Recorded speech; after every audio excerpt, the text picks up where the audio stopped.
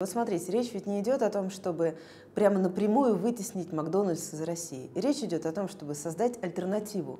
Любая конкуренция есть двигатель прогресса. И ребята сели и придумали, что нужно сделать альтернативную сеть на основе наших родимых фермерских продуктов. Клевая идея, правда? Отличная идея.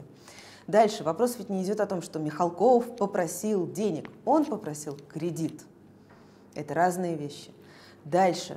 Михалков является здесь уже неким брендом, который заслужил право прийти в правительство и попросить этот кредит. Михалков великий человек.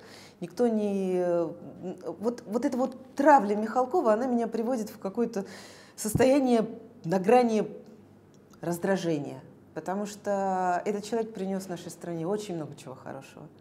И всем, кто сейчас активно ругает Михалкова, хочется сказать, вот возьмите камеру и снимите что-нибудь подобное. И после этого заслужите вот это право,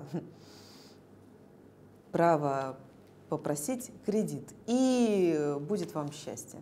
Поэтому я поддерживаю ребят всеми руками, и мне кажется, это очень классная идея. Я бы ребенка повела в эту сеть.